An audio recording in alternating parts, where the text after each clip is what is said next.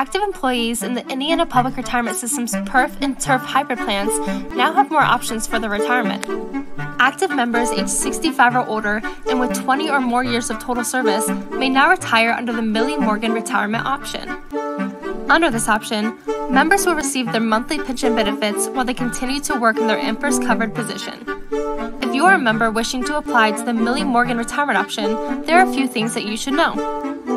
Applicants should select the first of the month following the submission date as the retirement date. For example, an application submitted on October 10th would choose a November 1st retirement date.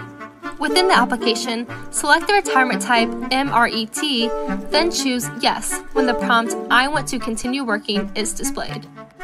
Next, you'll need to decide whether to continue making contributions to your defined contribution or DC account. Many employers pay the employee share of 3%, while other employers do not.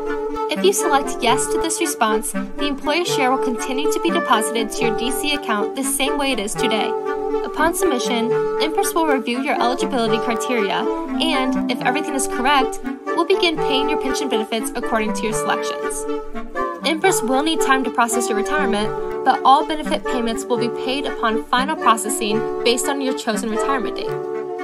If you're ready to learn more, log into your account at myimpersretirement.org and calculate your pension benefits as a Millie Morgan retiree.